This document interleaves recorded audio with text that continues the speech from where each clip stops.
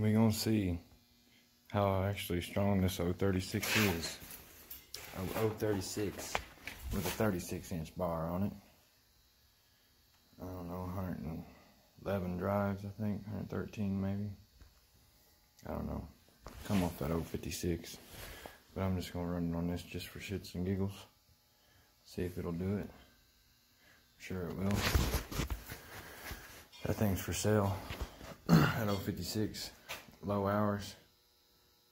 Ain't got no score marks on the piston or nothing. Let it go for uh, 400 bucks.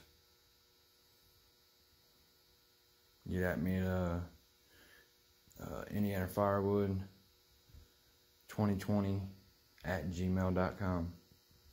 If you'd like to contribute or donate to the channel or uh, to helping my family and our time I need right now because I ain't working.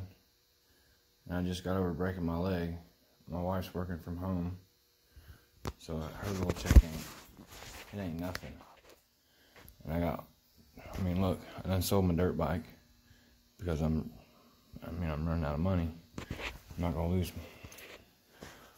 this freaking house and property that her parents have worked and paid for for 20 some years now. Like I lost my dad's.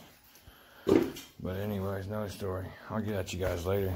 We're gonna run that thing tomorrow too. All right, see you.